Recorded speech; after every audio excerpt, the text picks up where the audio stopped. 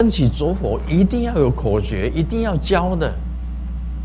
你眼睛看到烟，当你修这个保平器，修到这个烟产生出来，你接受到你身体里面有烟产生。告诉大家，按照逻辑讲，你看到烟就知道那里有火。逻辑就是这样子。你既然看到了烟，我才可以教你口诀。因为那个口诀非常的重要。弥勒日巴虽然用六照印，六照印呢，六照印是什么印呢？两个脚交叉，哎，这是尿急的。两只脚交叉成为六个三角形，这样交叉的话叫一二三四四个三角形。另外手背要环抱住脚，变成六个三角形，就叫六照印。两脚交叉啊，两只脚交叉，就变成四个一二三四四个三角形。对不对？然后坐垫要垫高一点，坐垫稍微垫高一点，适合你的。然后你的两只脚交叉，一二三四，两只手环抱，就变成六个三角形。然后把它脚拉近到，靠到你的脊轮，靠住你的脊轮。这基本上的修左火是要这样子修。另外还有重要一点，就是叫做缠带。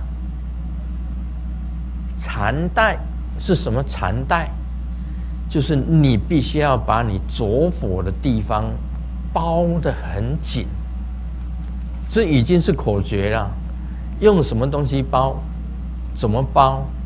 我不要讲，因为讲了给叉叉知道。他说他就是用这个方法升起着火。除了六照印是口诀以外，还有缠带的绑。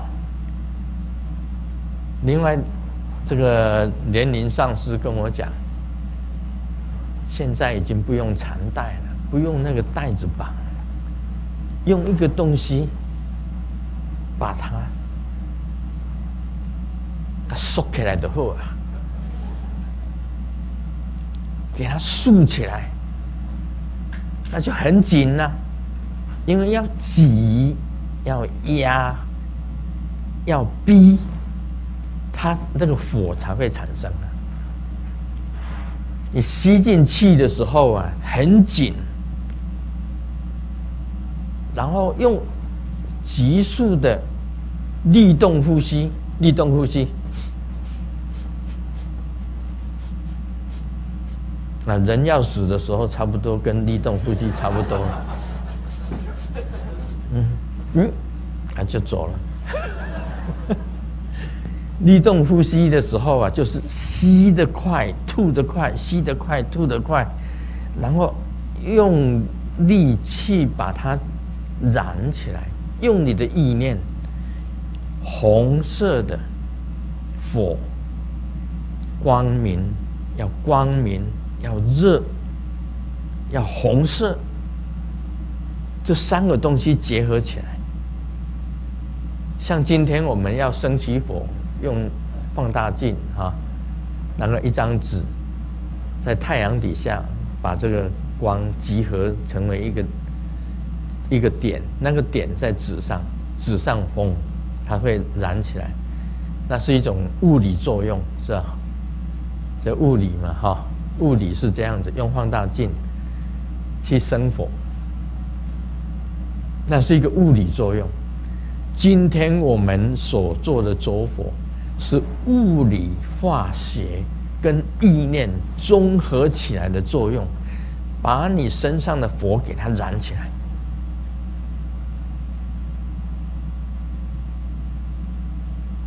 那我差不多讲的口诀都差不多了。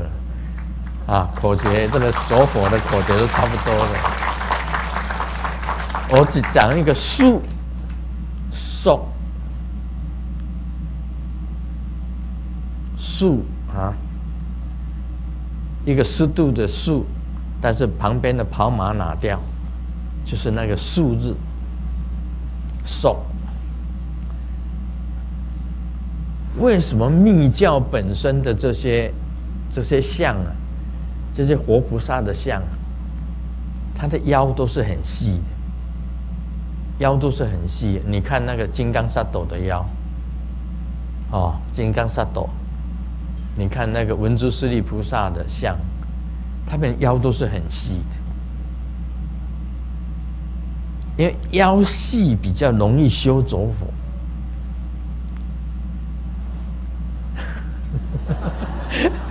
腰细比较容易修着火，这这其中这一尊啊，金刚亥母是着火定，着火定的最主要的，一定要观，你要修着火，一定要灌顶这一尊，啊，主起或者报名灌顶，你就可以有这一尊的话，能够修着火定，这一尊一定要灌顶才能够。修着火，因为你要观想它嘛，观想它在你的生三角形的生法宫的中央嘛。三角形的生法宫就是在你的肚脐四指四个指头底下这个点里面的中脉底下的这个就叫生法宫。我们平时在修保平气也是一样，吸两口气。然后顺着左右脉下去，到了生法宫，然后闭住呼吸，上面呢就把这口气逼在这个生法宫上面，肛门再提起来，就是把下行气、下行气往上升，上行气往下压，刚好宝瓶就在生法宫的地方，然后。你闭住呼吸，能够闭多久算多久。到你不能呼吸的时候，你再把气由鼻孔先冲顶，先冲一个顶下来，再用鼻孔出来。有的时候啊，真正修的好了，就从毛细孔出来，毛细孔就出来。这个就是保平气，保平气就是。上气下压，这个下气上提，变成一个宝瓶。那这个气存多久，就让它存多久，因为它存的久，它就进入中脉，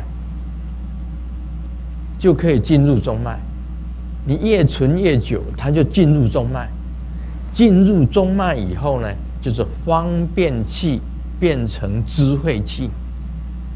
你要通中脉是要靠这个保平气的气进入中脉以后，把你的中脉整个都通了，这样子才行的。这是一个修行的方法。修左火就要靠金刚亥，它站在三角宫的中心，然后你用保平气进来，然后用力动呼吸，紧急的吹那个胖。让它的很紧很紧，而且观想红色的光明的，另外火，在一个这个棒字下就产生出来，它的种子日就是棒日，棒棒，种子日就是棒字。我这样讲差不多可以了解。所以我叫大家先修保平气，你保平气没有修好，你没有办法存气那么久，你中脉没有通，中脉没有通就要修左火，先通中脉，再修左火。那么中脉通跟左火通，最好先能够无漏，因为。所有火的资源，就是来自于水火交融。你看，水火交融，来自于它的种子。啊，刚刚在供养的时候有供养种子，有那个种子撒下去，什么是种子撒？种子才能够发芽，这是一个修行的一个次第。那个种子啊，你如果不让它发芽，种子一发芽就变成着火啊。所以要供养种子。什么是种子？种子就是你的荷门，就是你身上的名点。